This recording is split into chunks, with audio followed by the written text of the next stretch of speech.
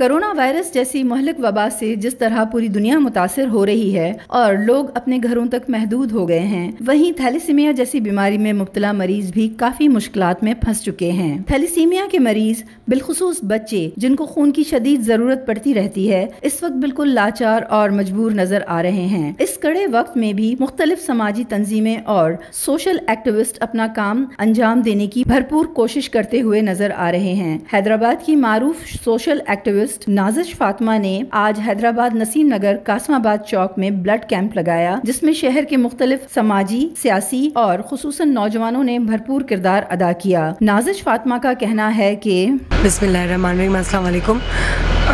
آج جو یہ ہم لوگوں نے ادھر نسیم نگر چوک پہ قاسم آباد میں انڈس ہاسپٹل کے ساکار سے، تعاون سے اور ان کے ساتھ مل کے تھیلیسیمیا پیشنٹ بچوں کے لیے بلڈ ڈونیشن کا کیمپ لگایا۔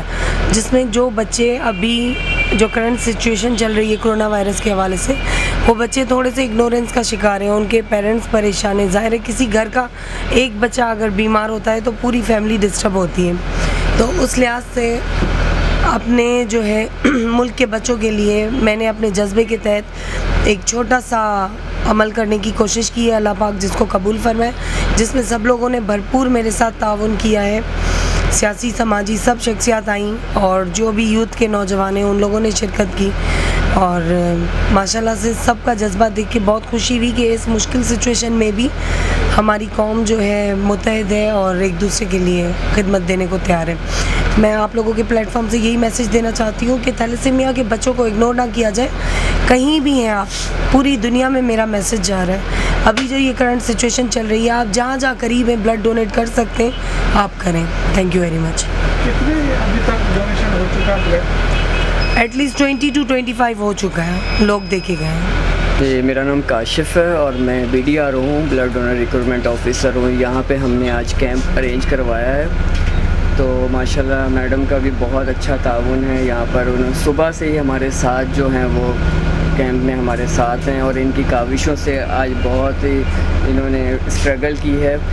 جو کہ صبح سے تقریباً تیس کے قریب پینتیس لوگ ہمارے پاس آئے ہیں، جس میں سے جو ایکسیپٹ ہوئے ہیں، وہ تیئیس لوگوں نے ایکسیپٹ ہوئے ہیں اور بائیس لوگ ابھی تک جو ہیں، وہ خون کی احتیاط دے چکے ہیں۔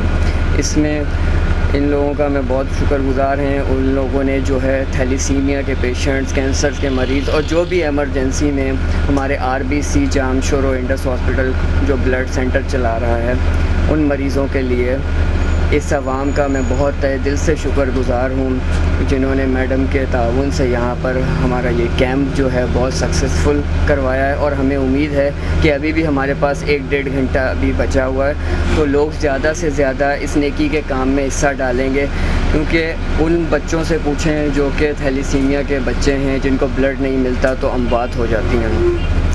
تو میں چاہوں گا حیدرآباد کی عوام سے، اس نیکی کے کام سے بڑھ چڑھ کر حصہ ڈال۔ کیمرہ مین نظر سیال کے ساتھ Shaista Sarhio online Indus T V Hyderabad.